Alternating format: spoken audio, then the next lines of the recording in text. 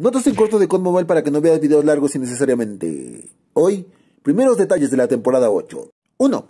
Debido al anuncio de la beta de la versión china para la temporada 8, se ha cuestionado sobre la situación de la versión global y el servidor de prueba, ya que será la temporada de aniversario, por lo que será una temporada con mucha expectativa, a lo que los desarrolladores respondieron que efectivamente habrá beta, pero no adelantaron fecha, solo informan que por lo regular la beta sale de una a dos semanas de haber salido la temporada, por lo que quizás tengamos dicha beta a mediados de septiembre.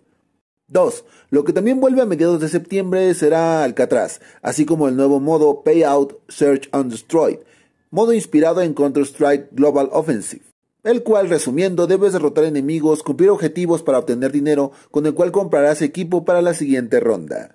3. La nueva arma melee, guantes de box, llegará también a mediados de temporada en eventos de temporada, haga la redundancia, de manera gratuita para todos.